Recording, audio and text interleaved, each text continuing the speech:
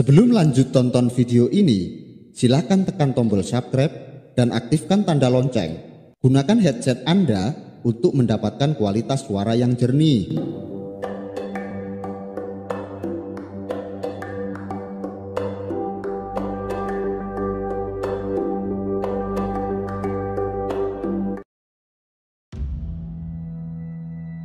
Sudah satu bulan lebih, Bong Suwiho dan Zainal Kabir tinggal di gedung batu.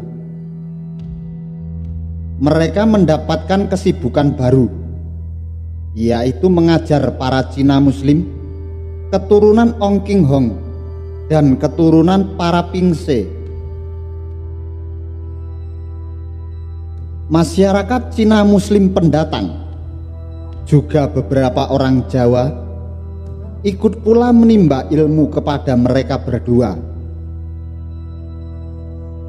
Bong Suiho tak lupa pula menilik keberadaan pabrik pengecoran meriam milik Majapahit yang dulu pernah dikepalai oleh Swan Liong atau Raden Aryo Damar sebelum dia ditasbihkan menjadi adipati di Palembang.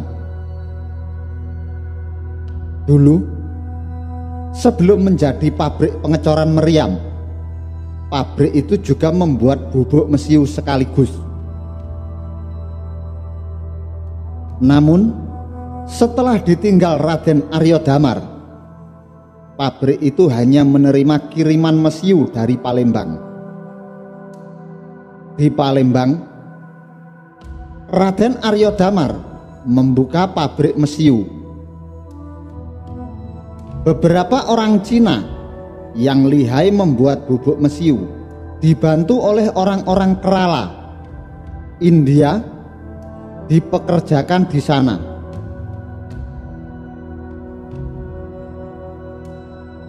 Namun ada hal yang kurang beres dalam pengamatan Bong Suiho. Beberapa kali para pekerja yang kebanyakan orang Cina membuat meriam dengan mutu yang buruk. Meriam itu diperuntukkan bagi kerajaan. Sedangkan meriam yang dibuat dengan mutu bagus sengaja disembunyikan. Menurut bisik-bisik kepala pabrik, Liu Yin, Raden Aryo Damarlah yang memang memerintah hal itu. Apa maksud Adipati Palembang tersebut? Bong Suiho belum bisa menjawabnya.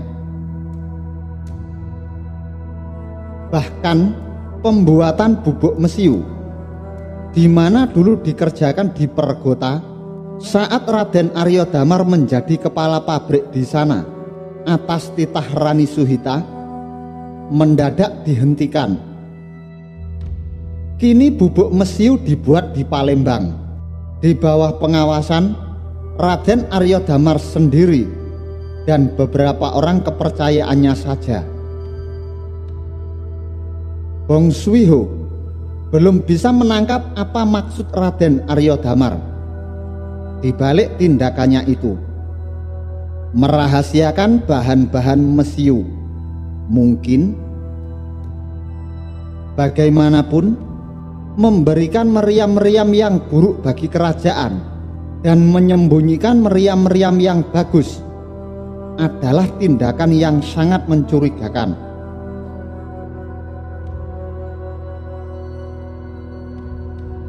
Kepercayaan Rani Suhita kepada Raden Aryo Damar memang sangat besar. Mengingat dia adalah adik tiri Rani Suhita sendiri. Ini membuat kekuasaan Raden Aryo Damar di lingkungan keraton juga sangat besar. Pengaruhnya sama besarnya dengan pengaruh Raden Kertajaya yang merupakan putra selir Prabu Ikramawardana juga. Rani Suhita, Raja Putri Majapahit sekarang. Raden Kertajaya, Bre Pamotan Sang Sinagara serta Raden Aryo Damar adalah bangsawan-bangsawan yang sangat disegani di lingkungan keraton Majapahit. Mereka sama-sama berayahkan Prabu Wikrama Wardana dengan ibu yang berlainan. Oleh karena itu, ketika Raden Aryo Damar menutup pabrik mesiu di Pergota dan membukanya di Palembang dengan alasan agar mudah diawasinya karena sekarang dia berada di Palembang. Rani Suhita pun menyetujuinya.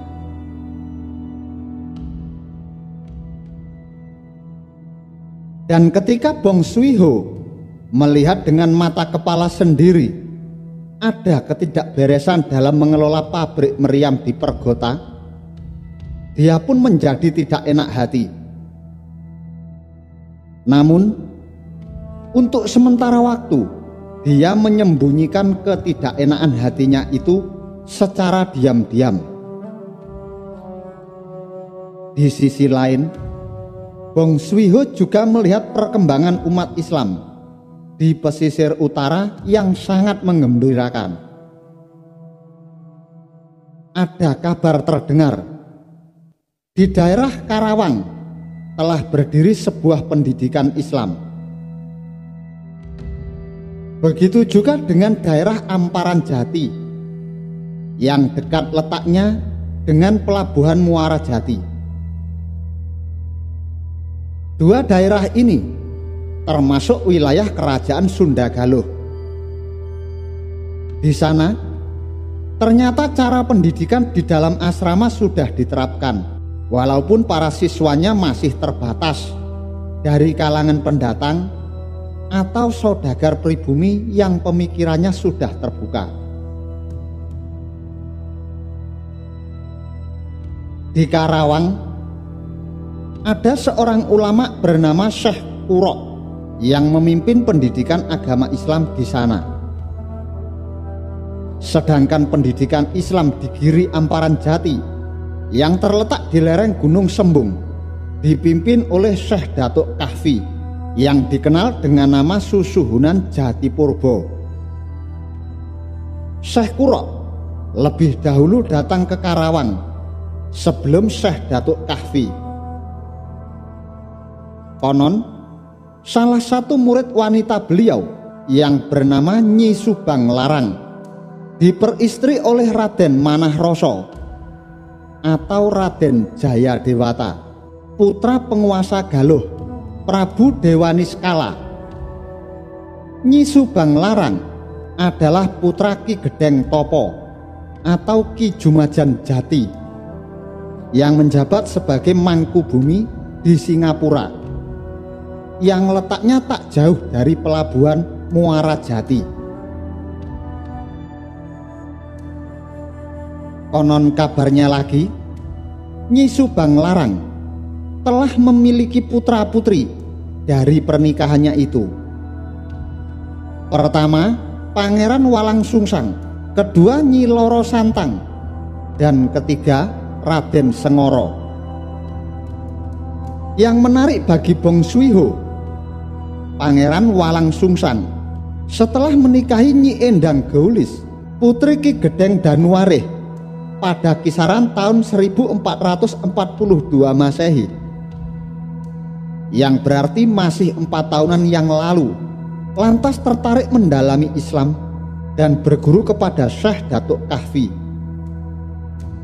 atas bantuan Pangeran Walang Sungsang inilah Syekh Datuk Kahfi memperoleh tanah perdikan di daerah Gunung Sembung. Di tanah perdikan itulah berdiri padepokan agama Islam yang dikenal dengan sebutan Giri Amparan Jati. Syekh Datuk Kahfi sendiri sangat dikenal oleh masyarakat Caruban. Namanya bahkan dikenal hingga pedalaman Pajajaran. Syekh Datuk Kahfi sendiri menurut kabar yang diperoleh Bong Swiho adalah putra Syekh Datuk Ahmad ulama kenamaan putra Syekh Datuk Isa bila dirunut ke atas beliau masih ada hubungan darah dengan Sayyid Alawi bin Muhammad Sohib Mirbat hingga Ahmad Al-Muhajir bin Isa Ar-Rumi dari Hadramaut, Yaman. Itu berarti masih ada hubungan darah dengan dirinya sendiri. Ikatan darah ini terhubung dari Sayyid Amir Abdullah Khan, Azamat Khan. Bong Suiho adalah keturunan dari putra Syed Amir Abdullah Khan yang bernama Syed Ahmad Shah Jalal yang berpindah ke India dan berhasil menjadi seorang gubernur di Kesultanan Delhi di masa pemerintahan Sultan Muhammad Takhluk bertahta 1325 hingga 1351 Masehi. Syed Ahmad Shah Jalal berputra Syekh Jamaluddin Shah Jalal. Syekh Jamaluddin Shah Jalal berputra Syekh Ibrahim Al-Akbar dan Syekh Ibrahim Al-Akbar adalah ayah kandung Bong Suiho. Sementara Syekh Datuk Kafi adalah keturunan dari Sayyid Amir Abdullah Khan melalui putranya yang lain yang bernama Sayyid Abdul Qadir. Sayyid Abdul Qadir berputrakan Maulana Isa. Maulana Isa berputrakan Syekh Datuk Ahmad. Syekh Datuk Ahmad berputrakan Syekh Datuk Kahfi.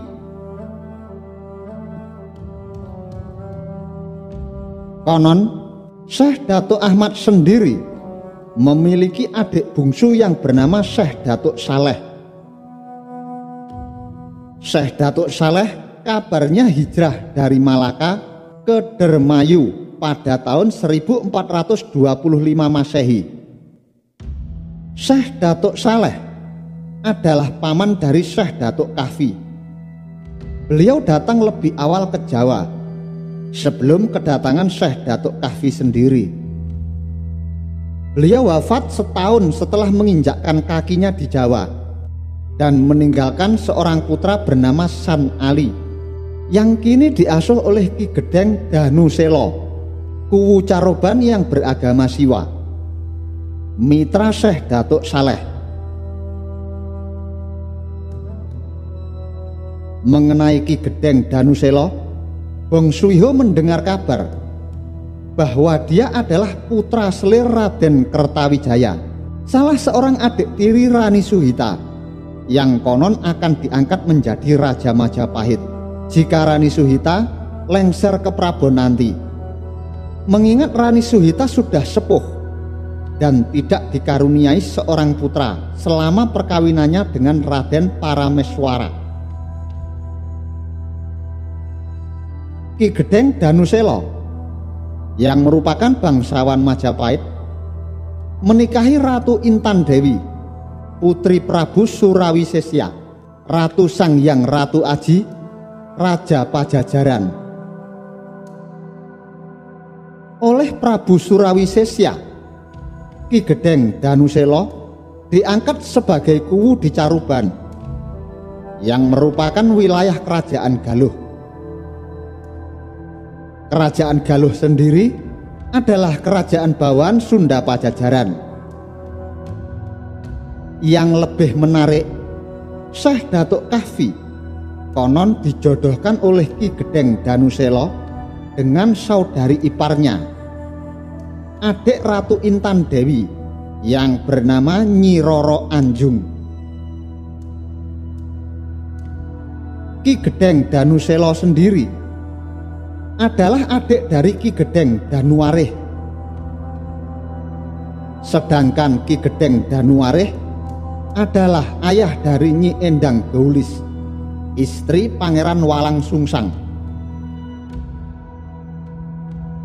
Kekerabatan yang terjalin sedemikian itu rupanya sanggup membuat Islam berkembang di pesisir utara Pajajaran melalui tokoh-tokoh seperti Ki Gedeng Danuselo, Ki Gedeng Danuareh, juga Ki Jumajan Jati atau Ki Gedeng Topo. Mangku Bumi Singapura yang ketiga-tiganya beragama Siwa.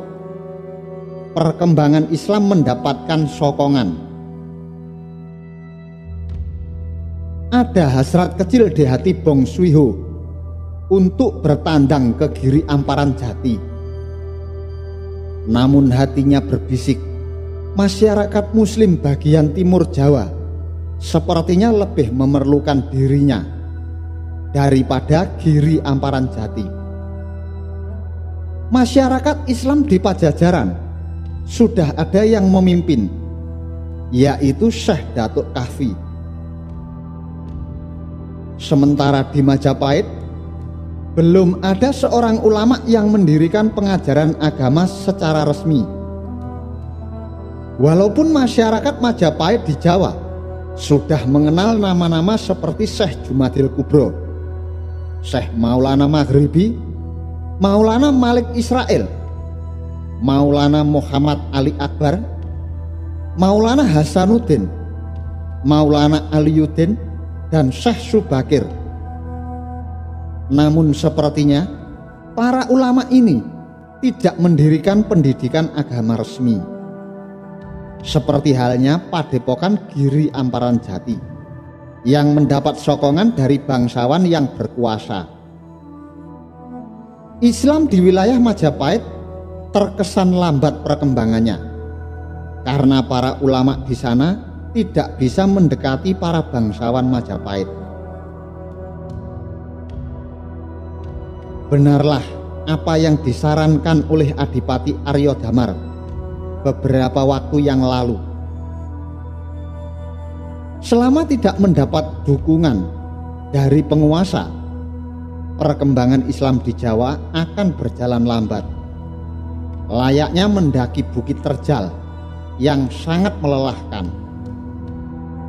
Menilik pula orang Jawa yang sangat kuat memegang keyakinan ajaran Siwa dan Buddha Mahayana.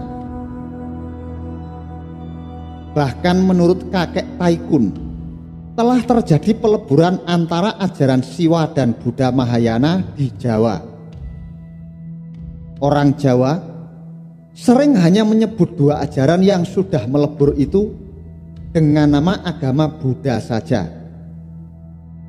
Bong Suiho tertarik sekali dengan hal ini bagi masyarakat Jawa jika mereka mengadakan yatnya sesuai ajaran dari lontar-lontar tatwa agama Siwa. Yatnya itu juga harus dihadiri pula oleh Wiku Buddha.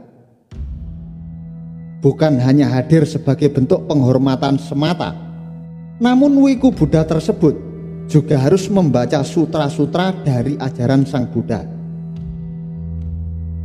Jika itu tidak dilakukan, kiranya belumlah lengkap yatnya yang dilaksanakan oleh mereka yang berkepentingan.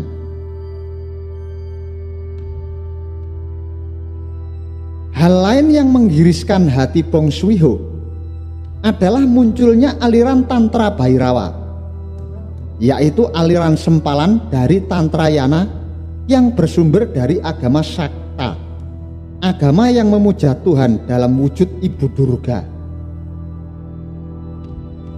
Aliran Tantra Bhairawa ini cenderung melakukan ritual yang sangat aneh dan mengerikan.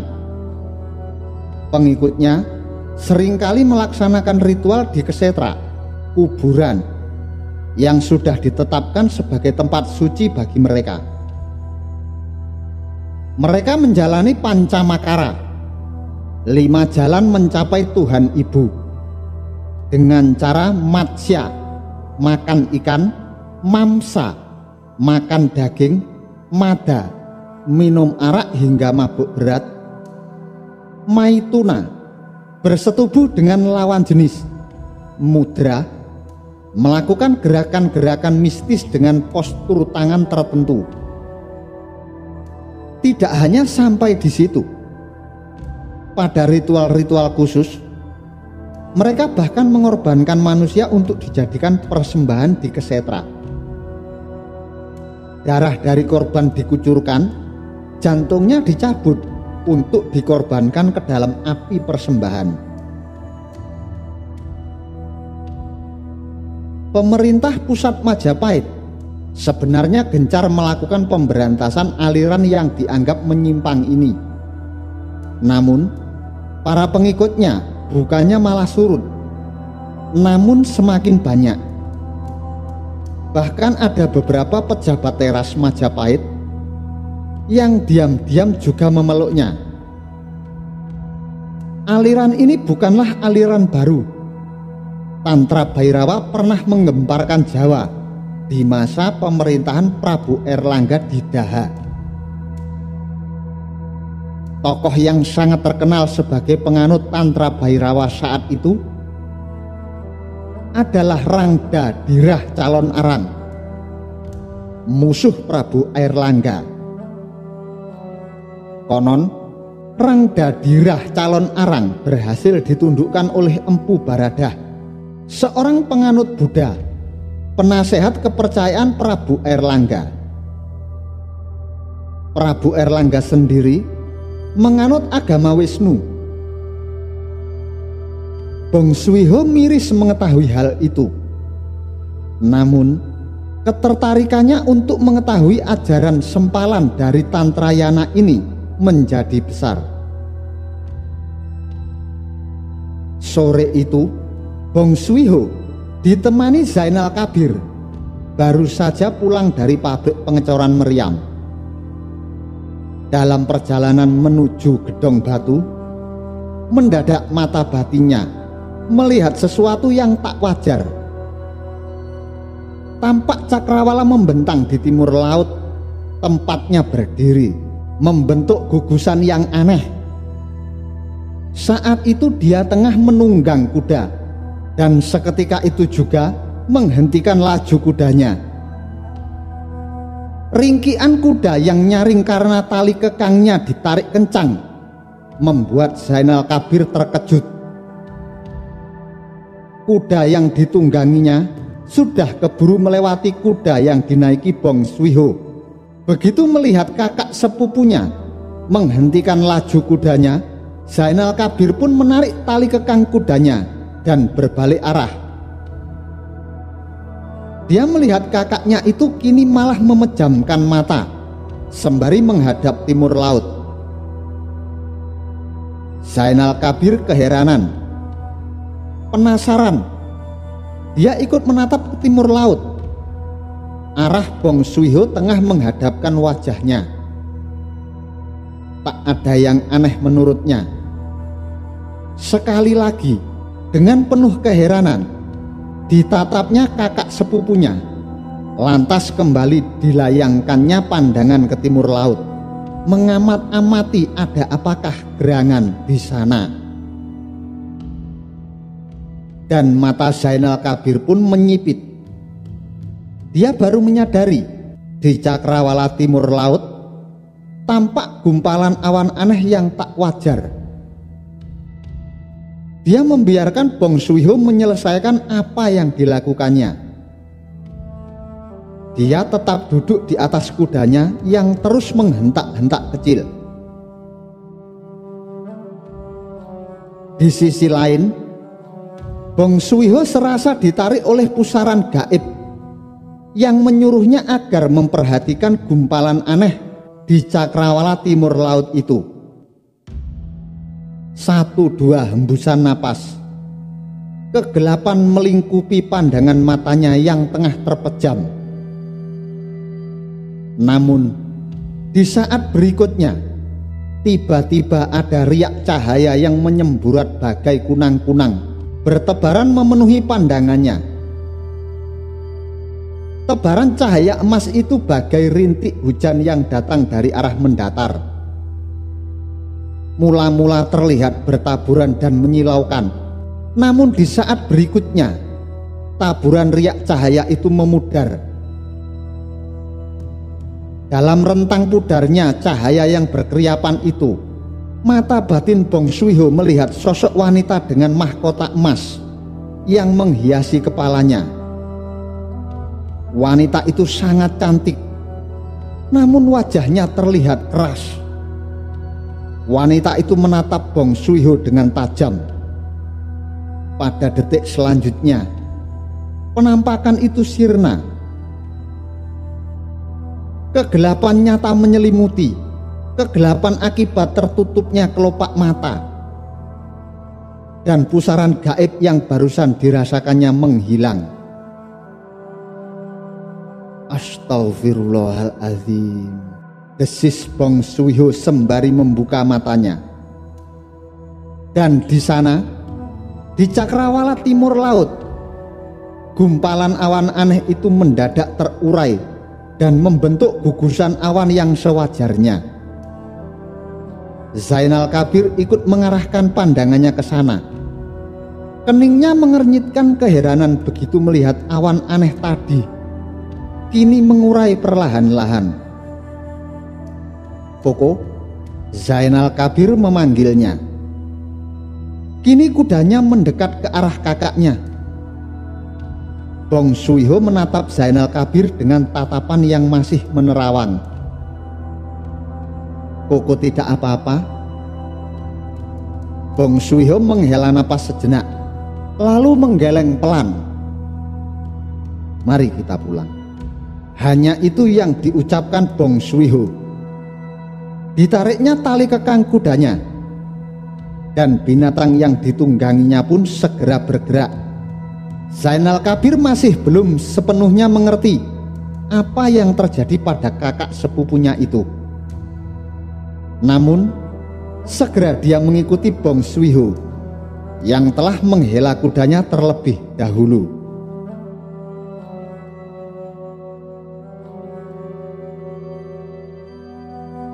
Kakek Taikun tercenung mendengar apa yang dituturkan Bong Suiho. Utara timur, timur laut. Hmm. Gumam kakek Taikun. Matanya menerawang ke arah yang baru digumamkannya. Kakek Taikun lalu terdiam, mencoba mengingat-ingat sesuatu jauh dari sini, tepat di timur laut. Dulu, dulu sekali, sebelum Nabi Muhammad lahir, telah berdiri pemerintahan di Jawa. Kerajaan Keling, begitu orang Jawa menyebutnya. Letaknya di utara Gunung Muria Kerajaan itu dipimpin oleh seorang wanita bernama Sima. Keling adalah negara bawahan kerajaan Pucang Sula yang beribu kota di sebelah barat Gunung Ngargapura, sekarang wilayah Keraton Lasem. Kerajaan Pucang Sula dipimpin oleh seorang wanita juga, masih kakak kandung Ratu Sima namanya Ratu Shiba. Namun yang terkenal di mancanegara, bahkan hingga ke Cina, adalah kerajaan Keling dengan Ratu Simanya. Orang kita menyebut Holing, bahkan konon Hoesio Fahien pernah singgah di Keling. Bong Suiho dan Zainal Kabir menyimak dengan khusyuk cerita kakek Taikun. Pemerintahan Ratu Sima diembani oleh seorang biksu Buddha bernama Biksu Jiana Badra. Keling adalah wilayah yang bernapaskan Buddha Mahayana. Sedangkan Pucang Sula bernapaskan agama Siwa. Bahkan dari Pucang Sula inilah orang Jawa mengenal ajaran Siwa yang dibawa oleh seorang resi muda dari India Selatan. Resi yang merupakan anak murid dari perguruan agama yang didirikan oleh Maharsi Agastya beberapa ribu tahun yang lalu di sekitar wilayah Tamil, India Selatan. Resi inilah yang menjadi suami Ratu Siba.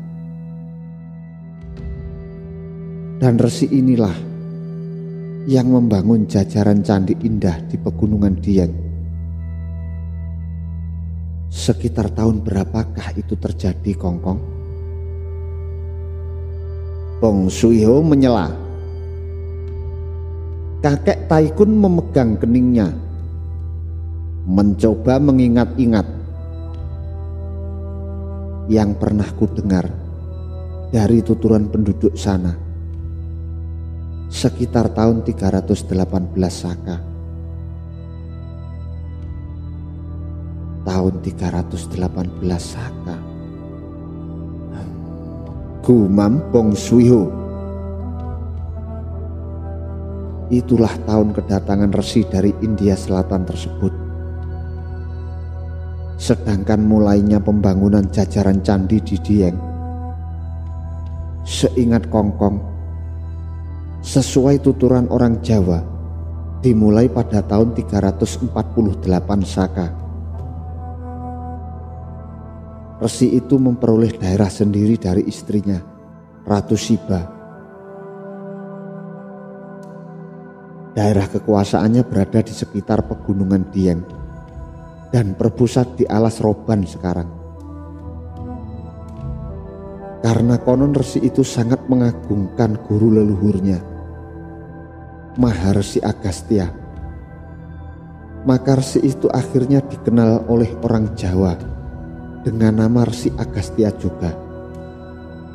Ratu Sima terkenal sebagai seorang raja putri yang tegas dan adil nama besarnya mengalahkan nama kakaknya sendiri. Bahkan pada perkembangan selanjutnya, Keling menjadi negara terpisah dari Puncang Sula. Armada Laut Keling sangat terkenal kuat. Para lanun yang kerap mengganggu jalur pelayaran di pantai utara Jawa benar-benar dibersihkan oleh armada lautnya. Laut Jawa menjadi aman untuk pelayaran para saudagar mancanegara yang hendak menuju Jawa maupun yang hendak bertolak dari Jawa kala itu.